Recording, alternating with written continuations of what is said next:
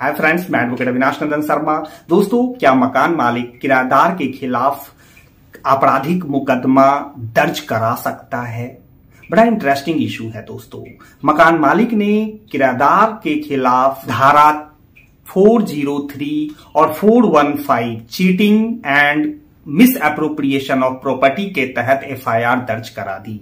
ये एफआईआर इसलिए दर्ज कराई गई कि किराएदार बहुत समय से मकान मालिक का किराया नहीं दे रहा था। बड़ा इंटरेस्टिंग इशू है दोस्तों। किराएदार पहुँचा Allahabad high court. Allahabad high court में क्वेश्चन पिटिशन फ़ाइल करते हुए एफआईआर को रद्द करने की प्रार्थना की गई।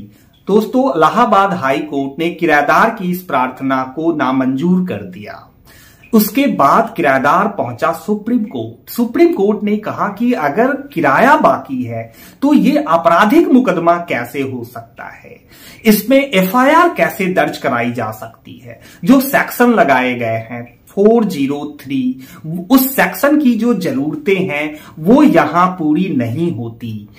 और जो चीटिंग का सेक्शन है, वो भी यहाँ एप्लीकेबल नहीं है। इस तरीके से बड़ा इंटरेस्टिंग निर्णय दिया सुप्रीम कोर्ट ने कि अगर कोई किराया बाकी है या फिर किराएदार मकान मालिक के घर में ज़बरदस्ती काबिज है तो इसके लिए सिविल कोर्ट की प्रक्रिया है। पिटिशन को आप वहाँ प्रस्तुत करो और वहाँ से आपको निर्णय मिलेंगे, वहाँ से निर्देश मिलेंगे। एफआईआर दर्ज करा देना या आपराधिक मुकदमा कोर्ट में फ़ाइल कर देना बिल्कुल गलत है। सुप्रीम कोर्ट का ये निर्णय बहुत इंपॉर्टेंट है दोस्तों।